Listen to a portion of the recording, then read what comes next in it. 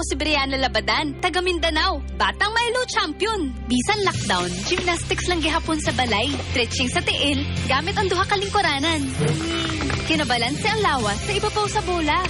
Kinahanglan at dunay energy kanunay. Maong nagmaylo ko adlaw-adlaw. Ang Milo adunay champion energy nutrients. Sustansya sa milk ug champion sa mga bata aron makatabang mahimong kusgan ug active ang lawas with three balanced meals and exercise. Ug nag-champion ko sa gymnastics competition sa Hungary.